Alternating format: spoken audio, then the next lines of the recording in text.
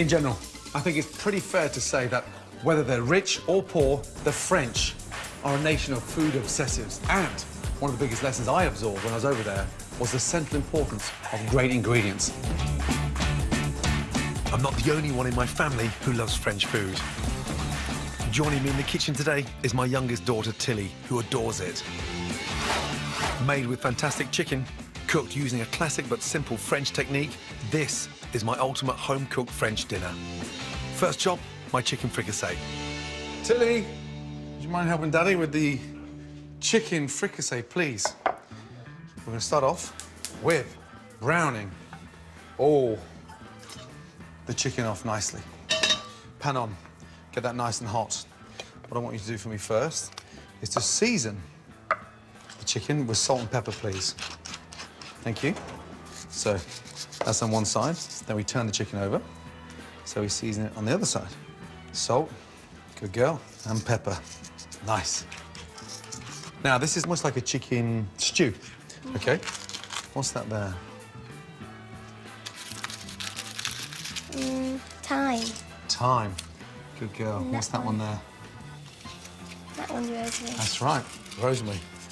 And because this is quite a rustic French dish, we don't need to chop everything. So you get the garlic, and you just bash it like that. Now smell. Mmm. Ooh. Right, so that's nice and hot. Put a tablespoon of olive oil in there, a couple of lugs. One, two, good girl. Put the chicken in, and you lay away.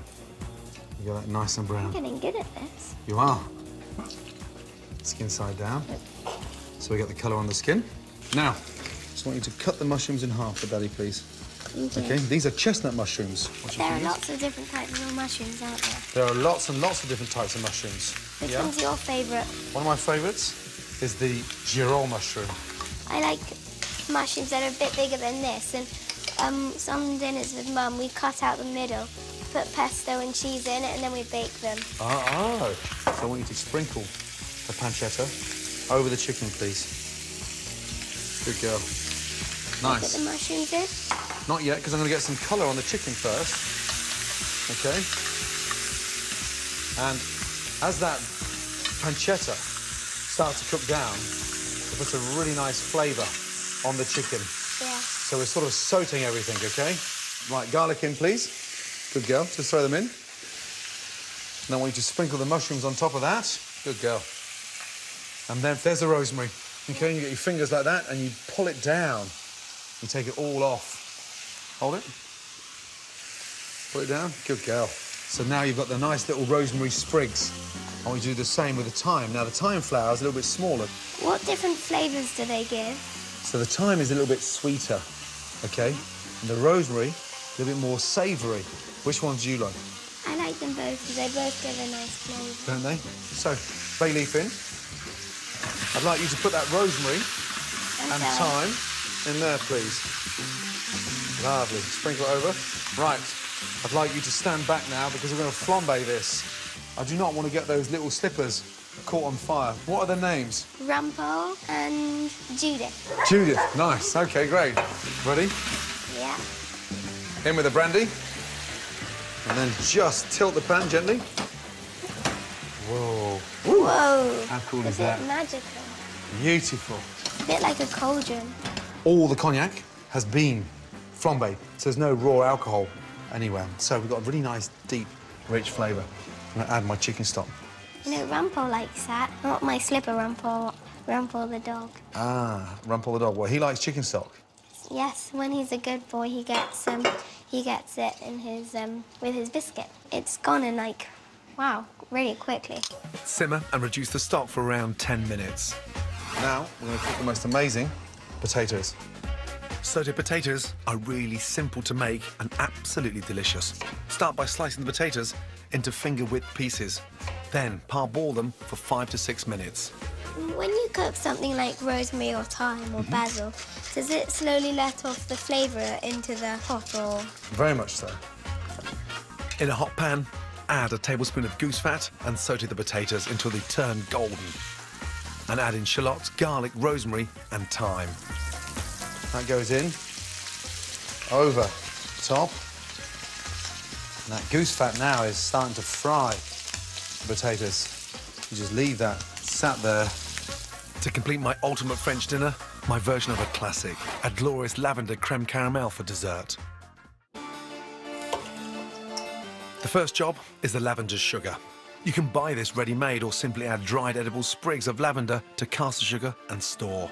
You can also try this trick with vanilla pods and cinnamon to bring new subtle flavours to sweets and baking.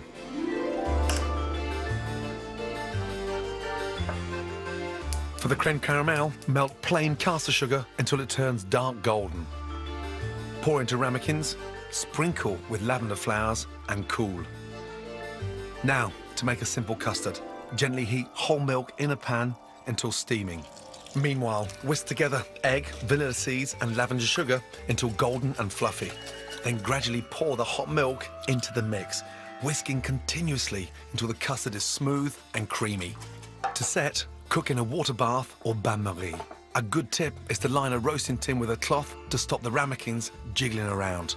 Pour your custard, then boiling water around the ramekins until halfway up the sides. Then cook in a preheated oven for around 30 minutes until set. Cool in the fridge. Then when you're ready to serve, dip the ramekins in hot water to loosen the creme caramel. Et voilà, lavender creme caramel. Look at that chicken now. So I'm just going to turn the gas right down and put the lid on, just like that. But leave a little bit So it can let out some steam. so I can let out some steam. That's right. Now, what I'd like you to do is to chop Daddy some parsley. Crunch it up nicely, tuck your fingers in, and take your time. Now my hands have got lots of different flavours Now you've got all those wonderful flavours. You could almost be French. Hmm. Huh? Matilda, sprinkle that on there. Good girl. Nice. Merci beaucoup. Yeah. Nice. Now, potatoes. And so the chicken. I can tell Jack's gonna love this. Is he? Looks delish. Doesn't it? Smells delicious. Look at that. I could smell that even before you took the lid off. Let's get my darling. Good job, by the way. Thank you. I can't wait for the others to try it. I hope they love it. This is my ultimate French dinner. Chicken fricassee with sensational herby sauté potatoes and lavender creme caramel. Meg, Jack, Mum, and That's Holly. Oh, so nice. Doesn't it? Now, Daddy, who's the one that burnt the garlic? Matilda. Oh dear. How could you, Dad?